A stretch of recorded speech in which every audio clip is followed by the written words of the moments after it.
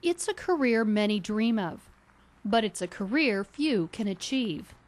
That's because Metro has one of the toughest police academies in the nation.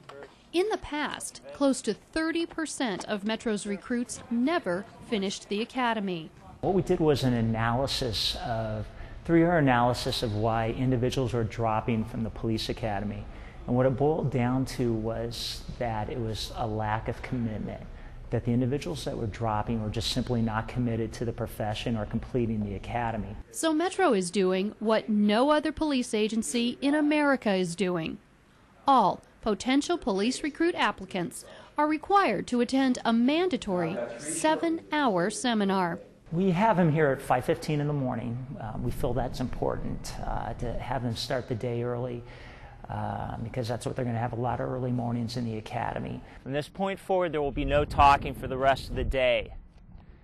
If you're spoken to, you will respond yes, sir, no, sir, yes, ma'am, no, ma'am. You're not individuals right now. You are a group expected to perform as a group and follow instructions. We get them in formation, we line them up. Um, we give them uh, their direction for the day, and we spend roughly an hour and a half to an hour and 45 minutes um, putting them through uh, physical exercises and um, running.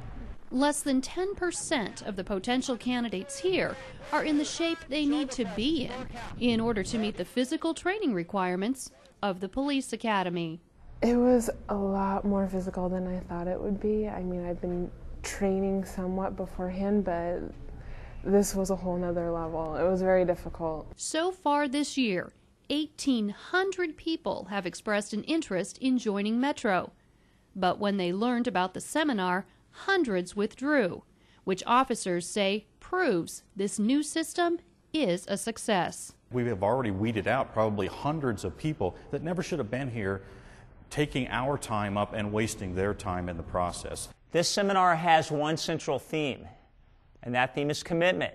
Do you have the commitment necessary to make it successfully through our academy and then on your way to a 25 to 30 year career with our department? It's also about the realities of being a police officer. It's been my experience that many individuals that apply for this job, all they understand about police work is what they receive from watching television shows or going to movies. There's some individuals that come through and apply for jobs and they're not aware of that, that they're going to have to carry a firearm, that they're going to have to work weekends and graveyard shifts. And while the candidates have to be realistic about their expectations of Metro, Metro is also realistic about its expectations of these potential candidates.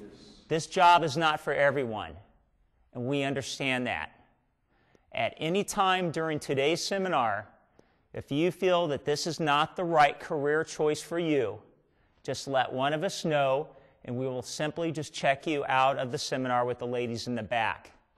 There is no shame in that. We respect that. Because I assure you, not everyone sitting in these chairs is meant for a career in police work. But for those who are, this seminar will help them be better prepared for one of the top police academies in the nation.